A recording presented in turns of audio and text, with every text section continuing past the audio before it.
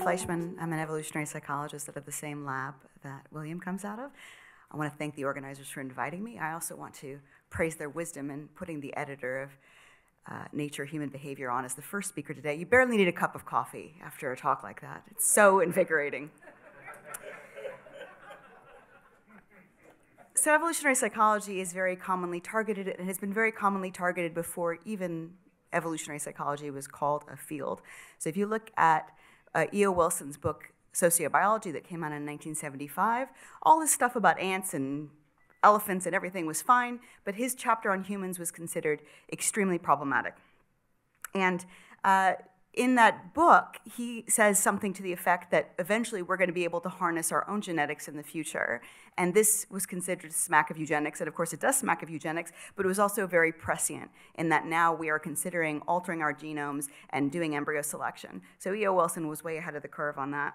So evolutionary psychology is controversial for many reasons. Um, it challenges, do not have this up. Turn it off, please. Um, it challenges uh, the core assumptions that humans are, the idea is that humans evolved and are animals, right?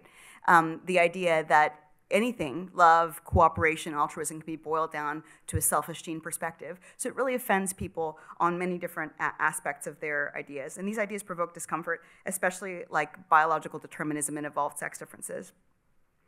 Um, so Stephen Jay Gould and Lewontin and people like that really were angry with, uh, with E.O. Wilson's book because they said it upheld the status quo. They said it could uphold sexism. And, you know, Steven Pinker in his book, The Blank Slate, talks about this at length that we like the idea of the blank slate, many of us do, because progressive ideologies say that human nature can be fundamentally altered, whereas evolutionary perspectives have the somewhat opposite view that uh, aggression, selfishness, tribalism are all sort of baked in, and we have to learn how to work with those in order to have a society uh, that can, can function. Another thing that's con- controversial about evolutionary psychology and, and, other similar views is that the idea that if you win out in competition, like if you win out in capitalist competition, or if you win out in a clash of cultures, then in some way that makes your culture or whatever uh, mores and norms and morals that you are endorsing uh, at least better in the competition and better in a specific way. So evolutionary psychology has had a lot of controversial research topics. Uh, Randy Thornhill, who's my, my neighbor in New Mexico, uh, he, he's written a book on rape that basically said rape uh, has an evolutionary reason behind it. Uh, men don't commit rape because they're trying to uh, enact their misogyny on women. They commit rape because sometimes they would get women pregnant that way.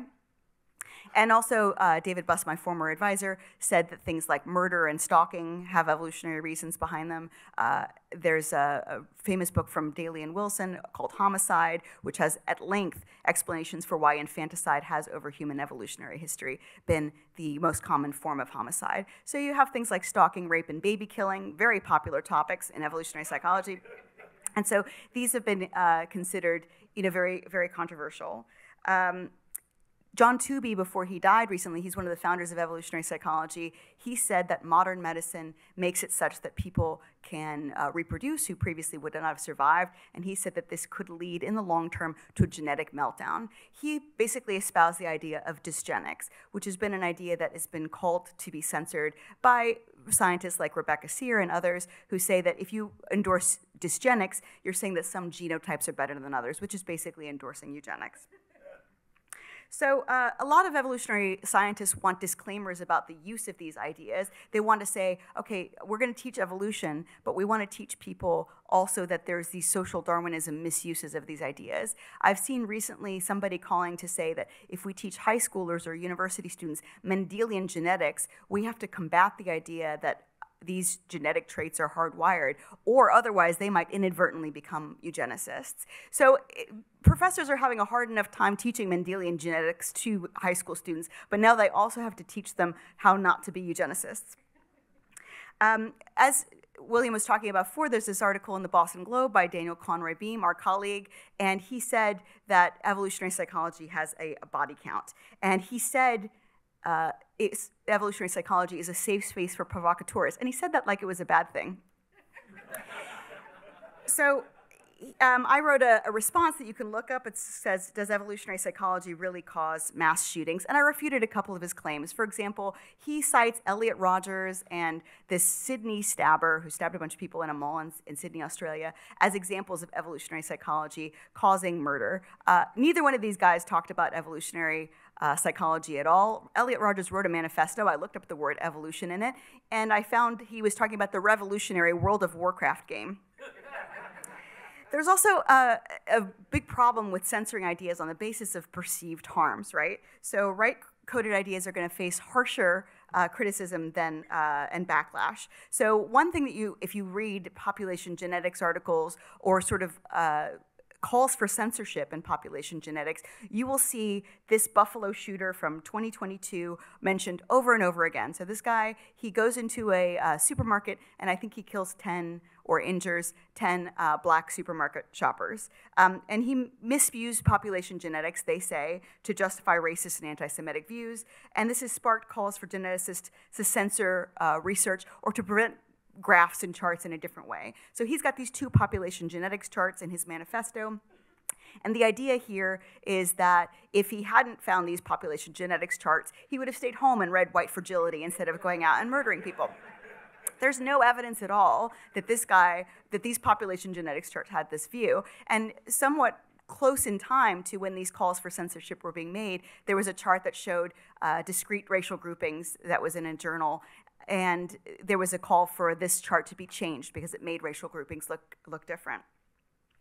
Uh, so you know, we have no idea if censorship would actually really prevent violence. And I don't know if you guys know this, the vast majority of murders are committed without a manifesto against people who are close to us. Uh, so left idea, I, left-coded ideas are really questioned. There was this Nashville shooter a few years ago, uh, a, potentially a, a, trans man. It's unclear exactly. And uh, this uh, person wrote in their journal, it was called a manifesto in some places, it was called a journal in others, that essentially uh, white, white privilege was a, a, major problem in our society. And this did not, as far as I ever saw, call for censorship calls for ideas about white privilege. Nobody said we should censor ideas about white privilege, and certainly nobody said that non-binary people, that the, being non-binary, as this person may have been, uh, is going to be a problem for, uh, for um, violence. So there's also a harm of alternative explanations. Think about hereditarianism. Hereditarianism is the idea that some ethnic differences in success or IQ or different kinds of metrics are caused by genetics rather than by culture or rather than by uh, discrimination if you look at uh, hereditarianism, it's maligned uh, like as much as gain of function research in terms of the harm it could potentially cause. But rarely do people grapple with what are the alternative explanations. So if you completely say that there's no biological basis for ethnic differences in outcomes, what you must by implication, endorse is that things like microaggressions, discrimination are causing these disparities. And you could see, if you were aiming to, all kinds of places in society where the idea that discrimination is widespread, that discrimination is causing some people to be oppressed to such an extent that they can't get ahead no matter how much DEI is imposed, is an idea that could cause aggression and violence. And if you look at you know revolutions throughout history, the idea that there's an oppressive class has been pretty popular as a uh, rationale for violence so there's a, there's a bigger picture here. You know, evolutionary psychology is basically about how, in the competition for survival, certain psychological adaptations won out over others. That human psychology has been shaped by iterated competition over time, and I also see that in the university system. So we've been talking a lot about how universities can get better, how about universities can stop doing as much uh, censorship, and how we should not compel speech, for example. But I see that there's going to be a competition that's either going to fundamentally change universities or that's going to uh, make them die, basically. So uh, I've seen recently private donors offering people money to do uh, individual research with a three or four page application. I've seen private donors giving people money. My friend Aella, who's a, a pornographic actress and sex researcher, um, has done research for the last year on the basis of a private donor, and she can't get published in mainstream journals because she has no IRB approval. She has, in some instances, 400,000 data points,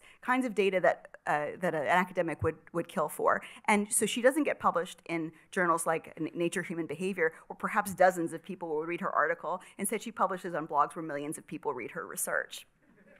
So over time, I think that the university system uh, is, is really going to not thrive in this kind of competition. And I, I, hope that there are some universities, like University of Austin and others, that really take up the challenge and say, okay, if we want to com compete with the private marketplace of ideas, if we want to compete with independent researchers who are not beholden to ideas about harm, we're really going to have to streamline the research process. We're really going to have to not eat up researchers' time and grant money uh, in, in applying for grant money and talking about how they're going to remedy social ills. We're going to really have to try and appeal to the independent discovery spirit that we see in intellectuals throughout history rather than at the perhaps craven I shouldn't use that word, craven desire to solve the kinds of problems that are considered most important and most likely to give researchers money.